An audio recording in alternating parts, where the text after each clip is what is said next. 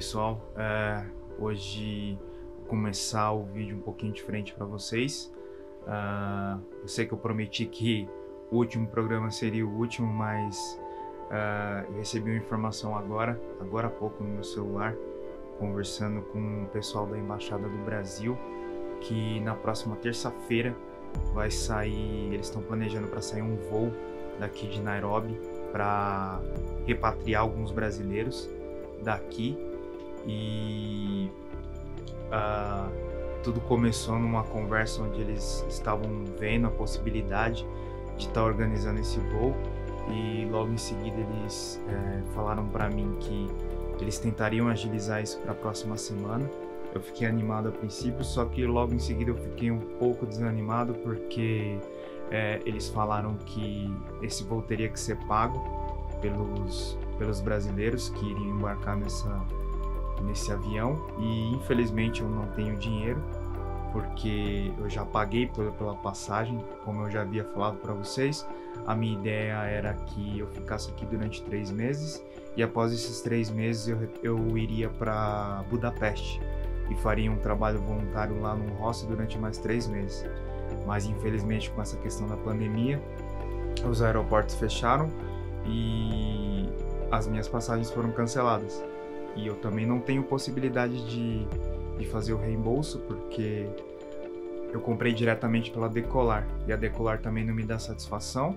Ela não me deu é, um voucher, não me retornou dinheiro, enfim, uh, acabei perdendo meu dinheiro até o presente momento e eu gastei todo o meu dinheiro nessas passagens. Então não tem como, eu não tenho como pagar essa passagem né, pela por essa outra companhia aérea, que é a Qatar Airlines.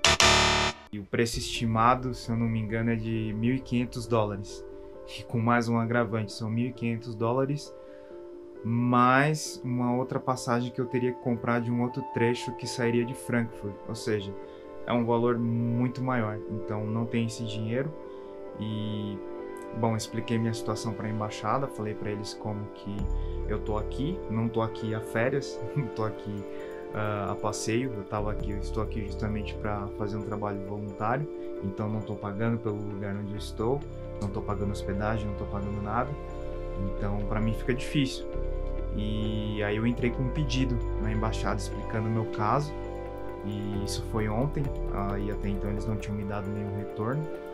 E só que hoje agora, durante o jantar, eu acabei de receber uma mensagem do pessoal falando que eles conseguiram uma pré-aprovação desse pedido e que agora eles têm que correr contra o tempo para fazer essa solicitação e também para conseguir me enviar um salvo-conduto. E o que, que é esse salvo-conduto? O salvo-conduto ele permite que eu atravesse a cidade de Bomé até Nairobi sem nenhum tipo de problema, porque eu teria que ir até Nairobi para não sei como é que eles vão fazer, eles estão arranjando, mas eu tenho que ir até Nairobi. E, e de lá, uh, não sei se eles vão organizar um ônibus para sair de um hotel, não sei como é que eles vão fazer, mas eu teria que ir até lá. E o problema é chegar até lá, porque, uh, como havia mencionado também no meu Instagram, no, Verbo Mochilar, uh, eles, eles, eles não estão deixando veículos de passeio irem, então eles fizeram um lockdown na cidade. Então a gente não pode ir até Nairobi, quem está em Nairobi não pode vir até aqui. Então eles têm que fazer um salvo-conduto, não sei se no meu nome, no nome do Noah, porque é o Noah que vai me levar. E agora estou no aguardo para saber o que, que, eles vão fazer. E na verdade ainda não é certo, eles pré-aprovaram a, a, compra, só que agora eles têm que correr atrás das passagens. Então é, ficar de olho no celular, ficar de olho é, nas mensagens para ver como que a gente vai conseguir fazer isso. Mas Bom, pelo menos um, uma meia vitória a gente já tem. O mais difícil foi essa questão da pré-aprovação, graças a Deus. Então eu vou ficar na guarda e vocês vão acompanhando todo esse processo até eu ser repatriado para o Brasil, se Deus quiser.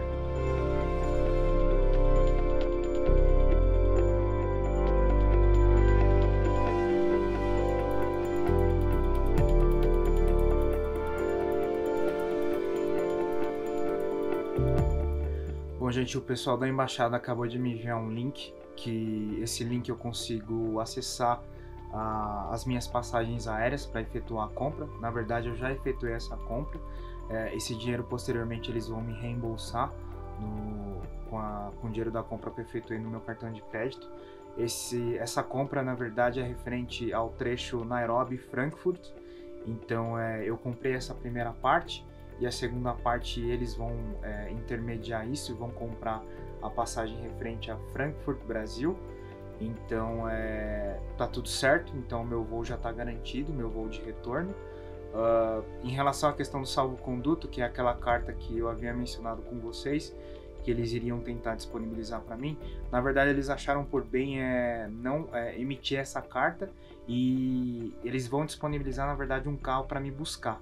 Então esse carro vai me buscar aqui na quarta-feira é, no orfanato, ele me pega aqui e a gente vai para Nairobi. Eu passo a noite em Nairobi e no dia posterior a gente pega o avião para Frankfurt. Então o avião está programado para sair a 1h10 da tarde e provavelmente então é, na quarta-feira eu passo a noite em Nairobi e no dia posterior eu, é, a gente se encaminha para o aeroporto. Então agora é esperar até quarta-feira e esperar minha carona rumo a Nairobi. Então vamos aguardar.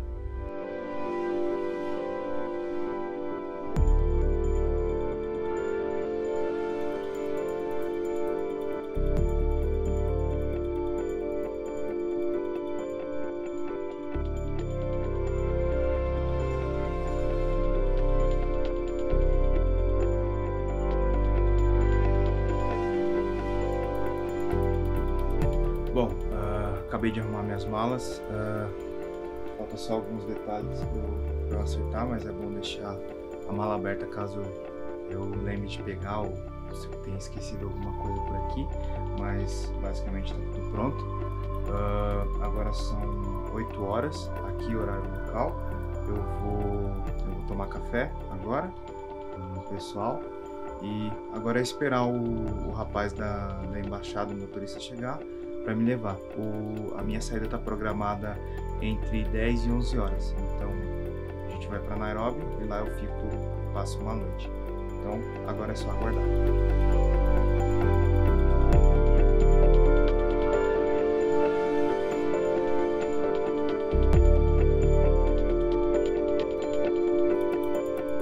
Bom, gente, o carro acabou de chegar, uh, agora são 10h20 e tô partindo agora.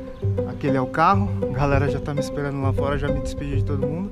E agora é pé na estrada e vamos pro hotel em Nairobi. Tchau.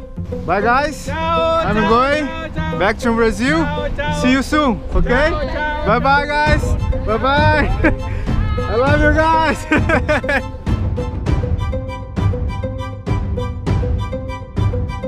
Bom, gente, eu já tô, já tô no carro, já tô indo em direção a Nairobi. Daqui são 6 horas de viagem. Ah, o motorista aqui ele já, já me pegou lá no abrigo e agora é esperar, que é uma longa jornada até lá. Então, vamos ver se tudo vai dar certo. A gente tem toda a documentação necessária caso os guardas dos bloqueios parem a gente, porque a, a estrada agora ela é fiscalizada por policiais, ela já era fiscalizada, mas agora está mais intensivo do que nunca por causa do coronavírus. Então, ah, eu acredito que a gente não vai ter nenhum problema porque a gente está com a documentação oficial aqui. Então, espero que nossa próxima parada seja realmente só no hotel.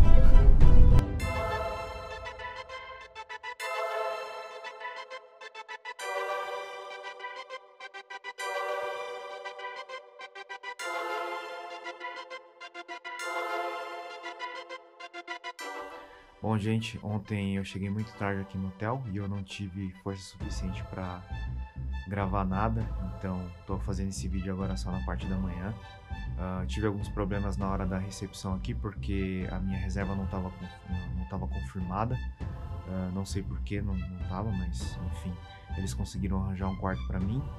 E bom, de ontem para cá houve algumas alterações em relação ao meu voo ele foi alterado para a noite, então o voo que antes sairia a 1h30 da manhã, agora vai sair às 8h30 da noite. Então já conversei aqui na recepção para ver o que, que é, como que seria feito esse transfer, se demora muito. porque eles têm transfer gratuito até o aeroporto. Então eu vou sair daqui às provavelmente às 4 horas da tarde. Não, às 4 horas eu tenho que estar no aeroporto. Então vou sair daqui umas 2 horas, 2 e meia. Então vou almoçar por aqui e depois a gente vai para o aeroporto. Uh, não, acho que essa é só essa alteração que eu vou ter e o resto vai ser tudo tranquilo. Então é, é esperar até o horário de eu sair aqui pro, do hotel pro aeroporto. Bom, gente, acabei de chegar aqui no aeroporto. Os guichês que estão aqui atrás de mim ainda estão fechados porque cheguei mais cedo do que esperado. Mas todo mundo, se você já viajou de avião, você já sabe que é sempre bom vir bem antes. Então já estou aqui esperando e assim que o guichê abrir, vou fazer o meu check-in para despachar minhas malas e ir direto para o meu voo. Então, só esperar agora. Bom, gente, já passei pela parte da fiscalização. Tá tudo certo, despachei minhas malas. E agora tô me dirigindo pro portão para esperar o meu voo.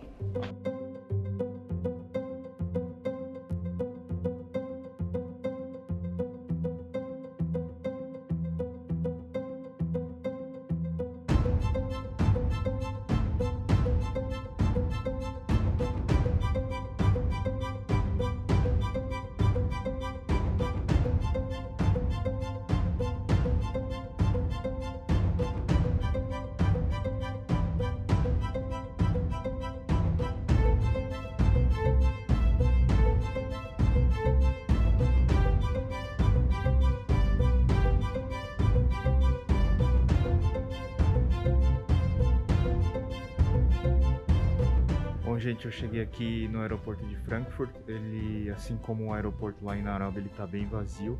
Não tem uma grande circulação de pessoas e a maioria das pessoas que na verdade estão aqui, elas vão para, elas vão fazer um voo de conexão para repatriamento. Então não são voos comerciais. É, o meu voo está previsto para sair daqui às 9h20 da noite. Agora são 9h30, 9h40 da manhã aqui, então é uma longa jornada até o embarque, mas o bom é a gente chegou cedo, então a gente tem tempo para descansar aqui. E agora é só aguardar. Então é só uma questão de tempo para a gente pegar o nosso voo final com destino ao Brasil.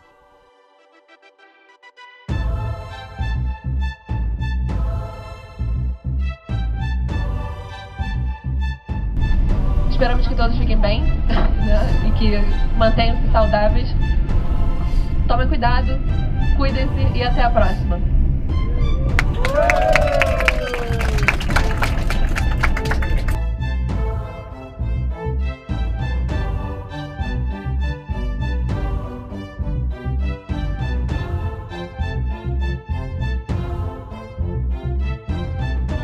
Gente, é isso aí. Acabei de chegar aqui no aeroporto de Guarulhos. Uh, meu voo foi tranquilo, não tive nenhum problema. Uh, graças a Deus foram 11 horas de muita tranquilidade, consegui até mesmo dormir no voo foi tudo muito tranquilo. Uh, agora são 5 horas da manhã. Infelizmente a minha mala não veio comigo, ela acabou ficando lá na. acabou ficando pela Lufthansa mesmo, mas eu já entrei em contato com eles. Eles vão estar tá mandando diretamente para minha casa, mas quero agradecer novamente aqui é, o pessoal da, da Embaixada Brasileira lá no Quênia, eles me ajudaram bastante, todas as pessoas que eu entrei em contato, Lígia, o Henrique, todas as pessoas envolvidas, muito obrigado. Agradeço de coração é, esse trabalho que vocês fizeram aí por, por, nós. Eu e mais três brasileiros conseguimos embarcar, estamos de volta aqui no Brasil e agora é torcer para que tudo dê certo, que a gente fique de quarentena agora durante esses, esses 14 dias e que nada aconteça. Então, bom, esse acabou sendo o nosso último programa da temporada. Fechamos com chave de ouro, voltando para o Brasil, graças a Deus. E espero que eu possa produzir mais conteúdo aí para vocês. E por enquanto, eu vou deixar só aquela frase para vocês e torcer para que eu consiga repetir ela mais vezes no futuro, porque viajar é preciso, viver é uma necessidade. Até mais, bem-vindo ao Brasil.